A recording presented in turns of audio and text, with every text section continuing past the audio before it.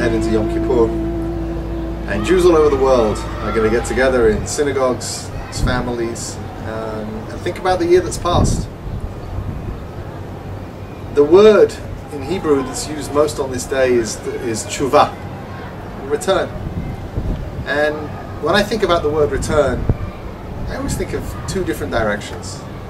The first is perhaps a little bit more, uh, has a little more religious significance to it. Return to God. Return to God.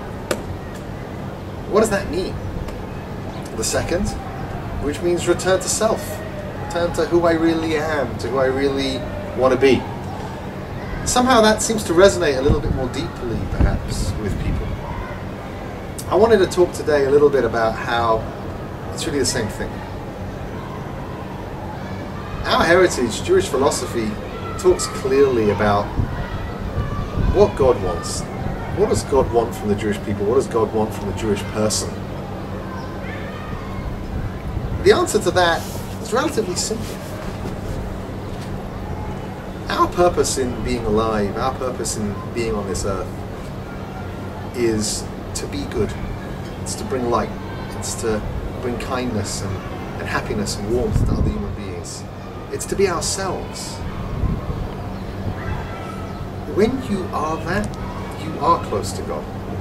So the concept of commandments in Judaism, the mitzvot, are actions that bring us closer to God, actions that bring us closer to Hashem.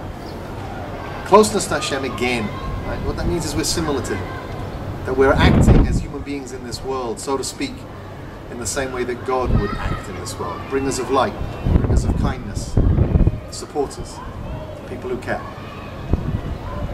Now, there are different types of commandments. There are commandments that are easier to understand why they make us good people.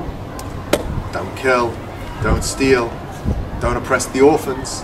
There are things a little more difficult to understand how they apply to morality, things to maybe kosher food, Sabbath, Shabbat. But with a little study, the moral understanding that's intrinsic in all of the commandments becomes you know, abundantly clear. It doesn't take very long.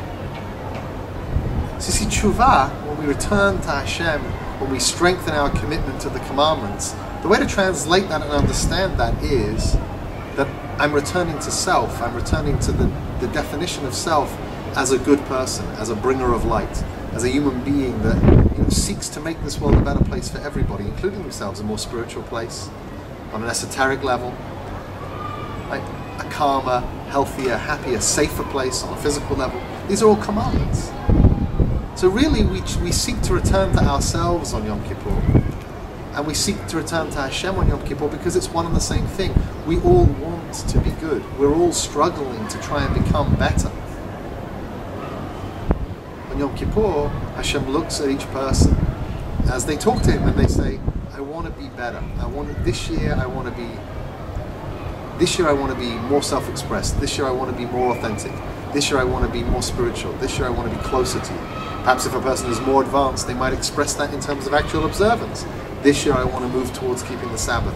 This year I want to learn more Torah. This year I want to be, you know, closer to you in terms of what I eat.